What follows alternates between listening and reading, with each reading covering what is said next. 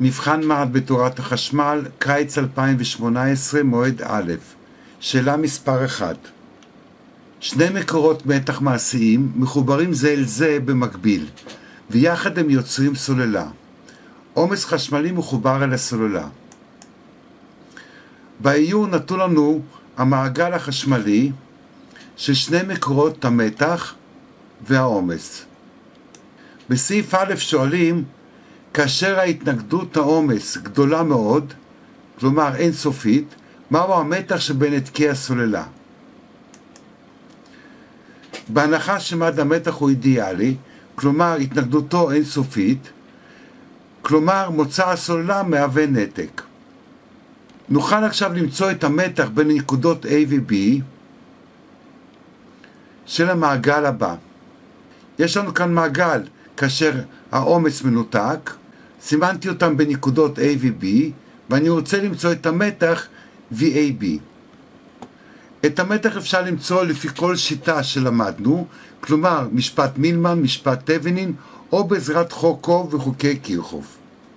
לפי מילמן, VAB יהיה שווה לסכום זרמי קצר חלקי סכום מוליכויות.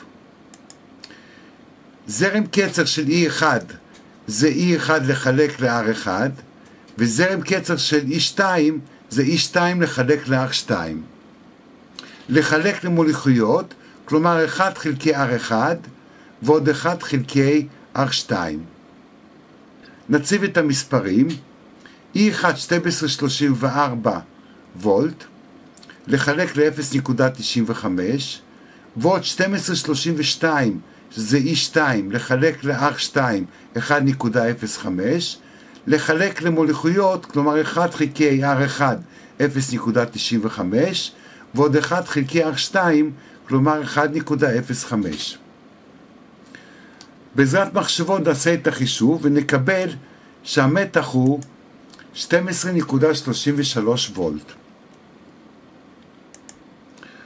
אפשר גם בדרך אחרת, נסמן כיוון של זרם וכיוון המתחים במעגל, מכיוון ש-E1 גדול מ-E2, כיוון הזרם יהיה בכיוון השעון, ניקח את המסלול מ-B ל-A דרך E2, כלומר המתח E2 לכיוון הפלוס, והמתח של נגד R2 נגד כיוון הזרם. לכן הזרם I שזורם במעגל יהיה שווה ל-E1 שהוא הגדול יותר, פחות E2, לחלק לסכום הנגדים במעגל.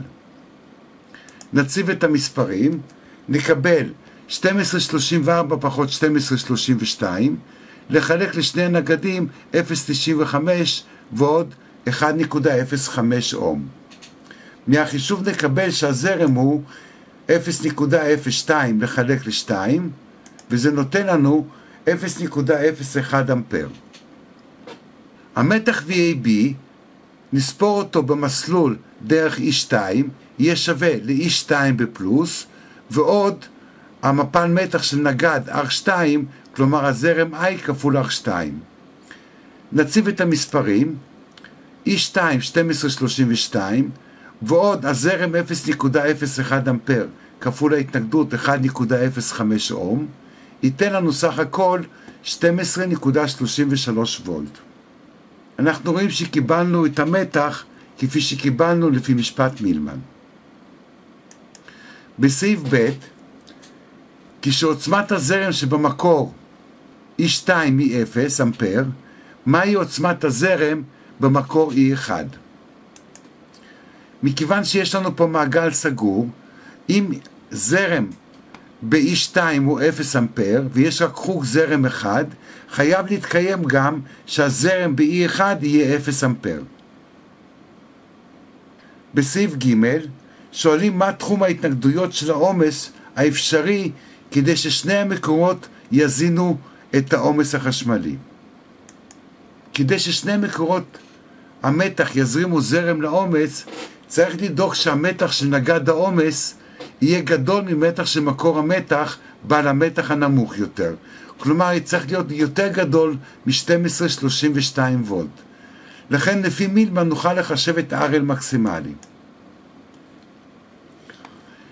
VAB שווה לסכום זרמי קצר חלקי סכום מוליכויות, המונה כפי שהיה קודם, זרם קצר של E1, E1 לחלק ל-R1, וזרם קצר של E2 לחלק ל-R2. לחלק לסכום מוליכויות, 1 חלקי R1 ועוד 1 חלקי R2 ועוד 1 חלקי העומס שנחבר בין הנקודות A ו-B. נציב את המספרים.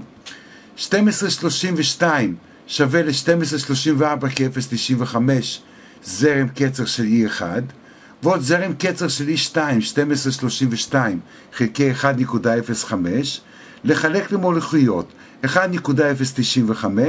ועוד 1 חלקי 1.05 ועוד 1 חלקי העומס RL. קיבלנו כאן משוואה כאשר RL הוא הנעלם. לכן נפתור בעזרת מחשבון ונקבל ש-RL הוא 585.2 אום. כלומר, RL מקסימלי שניתן לחבר הוא 585.2 אום. לכן תחום הנגד RL לדרישות סעיף זה יהיה בין 0 לבין 585.2 אום. אם נעשה את החישוב לא במחשבון, נקבל R קטן יותר, וזה נובע מדיוק החישוב. לכן אם עושים את החישוב ללא מחשבון, יש לקחת את כל המספרים שהמחשבון מספק. בסעיף ד' במצב עבודה מסוים, התנגדות העומס שווה ל-R1 ועוד R2, כלומר 0.95 ועוד 1.05 אום, ביחד זה 2 אום. שואלים, האם במצב זה המעגל פועל בנקודת עבודה שבו העברת אנרגיה מהסוללה אל העומס נעשית בהספק מקסימלי. כדי לקבל הספק מקסימלי צריך להתקיים התנאי ש-R תבני שווה ל-RL. R תבני שווה, אם נקצר את מקורות המתח, לשני נגדים במקביל, ל-R1 במקביל ל-R2. כלומר 0.95 אום במקביל ל-1.05 וזה נותן לנו 0.498 אום. לכן, מכיוון שהר תבני שונה משתי אום, לא נקבל הספק מקסימלי שמועבר לעומס. זהו סוף התרגיל. ניתן לרכוש את ספר פתרונות של רוב השאלות בין שנת 96 עד 2018 במחיר של צילום, כריכה ודמי משלוח. את הפרטים אפשר לקבל בטלפון 050-69-333-10. אני מאחל הצלחה בבחינה למי שניגש.